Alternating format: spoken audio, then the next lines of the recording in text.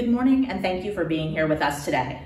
Over the course of the next two days, you will be engaged in professional learning around best practices in the use of educational technology, both in the classroom and online.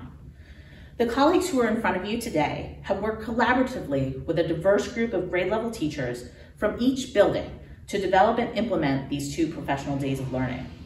Their input was invaluable and has allowed us to bring you collective cross-grade level expertise that will assist you in becoming more comfortable with technology that can engage students through enhanced delivery of your own curriculum.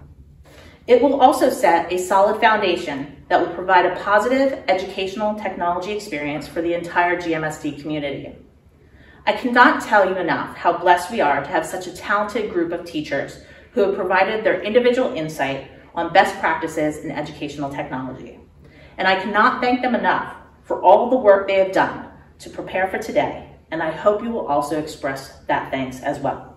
A lot of learning in which you will engage over the next two days will reflect an intentional effort to standardize the use of online resources across grade levels and buildings. The expectations are clear.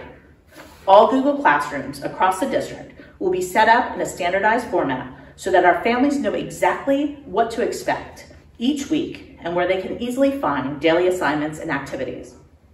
It is our goal to make the navigation of Google Classroom as seamless as possible for our students and families.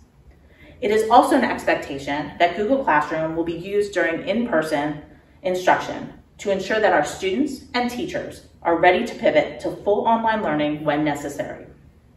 Therefore, whether a student is online or in the classroom, the platform for delivery of instruction, student and teacher interactions, assignments, and assessments will look familiar. As I speak to you right now, we are about one week away from our school board reviewing our health and safety plan. There are still many questions that need to be answered, and we know that you will have many questions throughout these two days of learning. Some questions that might be on your mind might include, when the school year starts, will we be in person? Will there be a hybrid schedule? Will we be totally online? And if we are online, what does the daily schedule for elementary look like? What does the schedule for secondary look like? These are larger systematic questions that the district and your principal will answer more specifically in the days and weeks after the board votes on the plan and we have a clear understanding for our path forward in the 2021 school year.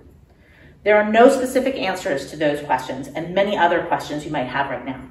So I ask that you put those aside and focus on the topics related to professional learning in which you are, will engage today and tomorrow. Please do not put your colleagues in a situation where time is spent on systematic questions they just can't answer. So here's the ask for the day. Your facilitators have created a parking lot space for your questions. Please use that space for questions directly related to the topics and resources they will be sharing with you over the next two days. Focus your time on learning how to create your standardized Google Classroom, understanding how assessment can and should look different in an online environment, how to build relationships in an online environment, and learning how to use Pear Deck to engage students and check for understanding, as well as much, much more. Your questions should stay within those topics presented today so that on day three, you are able to take that information and apply it on your own to your specific grade level and curriculum to prepare for the upcoming school year, regardless of what it looks like. Although we cannot clearly see what 2021 has in store for us, we know that Mustang Nation will always rise to the challenge and we will do whatever it takes to provide our students and families with a high quality education.